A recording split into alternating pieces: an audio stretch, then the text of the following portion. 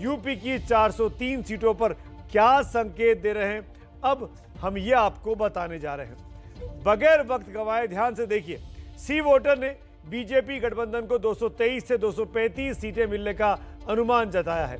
Samajwadi party गठबंधन को 145 से एक सौ सत्तावन सीटें, बीएसपी को 8 से 16 और कांग्रेस के खाते में 3 से 7 सीट आने का अनुमान है।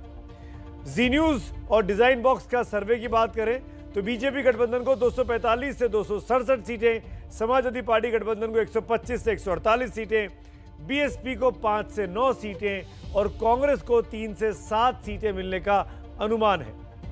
इंडिया टीवी के सर्वे की अगर बात की जाए तो भारतीय जनता पार्टी गठबंधन यहाँ पर भी लीड में है। सरकार बना रहा है 230 से 235 सीटें। समाजवादी पार्टी गठबंधन बहुत बड़ी संख्या में सीटें पाकर भी सरकार नहीं बना पा रहा है। बाकी दो सर्वे की तरह 160 से एक सौ पैंसठ पर आकर गाड़ी रुक रही है। बीएसपी के खाते में दो से पाँच सीटें हैं और कांग्रेस को तीन से सात सीट मिलने की उम्मीद इस इंडिया टीवी के सर्वे ने जताई है। रिपब्लिक और पी मार्क की अगर सर्वे की अब मैं बात करूँ तो बीजेपी गठबंधन दो सौ बावन से दो सौ बहत्तर सीटें जीतती हुई दिखाई दे रही है। समाजवादी पार्टी गठबंधन को 111 से 131 सीटें मिलने का अनुमान है।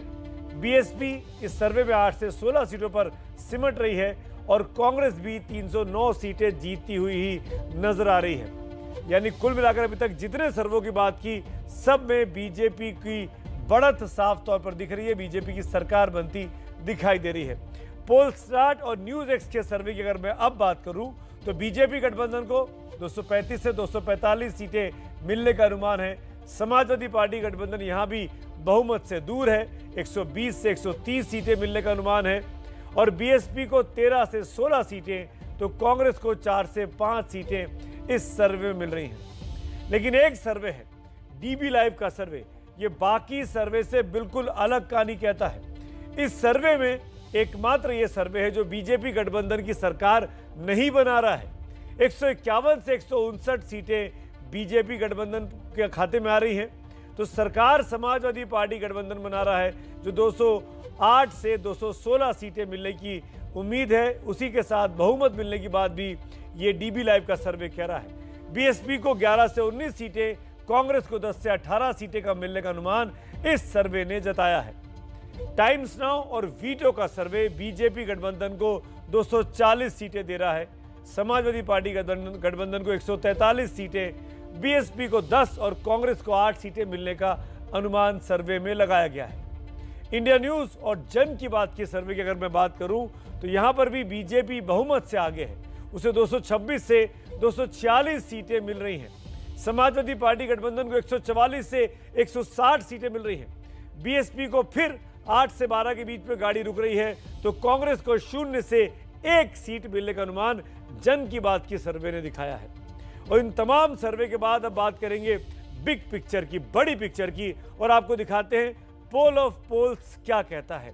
यानी इन तमाम सर्वों का निचोड़, वो आंकड़ा क्या है? वो आंकड़े आपके सामने स्क्रीन पर है।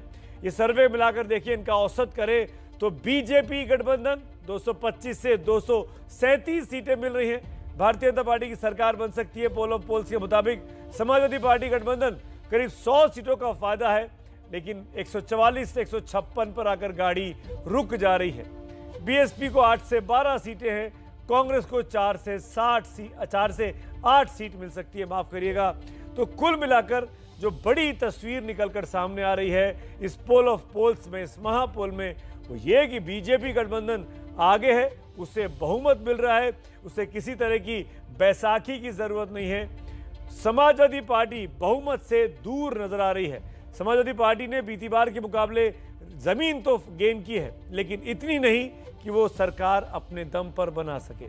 सर्वे ये भी बताते हैं, जो कि बहुत ज़रूरी है, कि बीजेपी आगे तो है, लेकिन 2017 के विधानसभा की तुलना में करीब करीब 100 सीटों का नुकसान बीजेपी को हो रहा है। और समाजवादी पार्टी को ये 100 सीटों का सीधे तौर पर फ़ायदा है, यानी मामला आमने सामने का है। यानी मामला सपा वर्सेस बीजेपी का है। इन तमाम सर्वों का एक निचोड़ बिल्कुल साफ़ है कि बीएसपी और कांग्रेस इस चतुर्कोणीय लड़ाई में कहीं दिखाई नहीं दे रहे हैं। इसका मतलब क्या है? इस बायपोलर कॉन्टेस्ट से कौन फ़ायदे में है? योगी आदित्यनाथ या फिर अखिलेश यादव?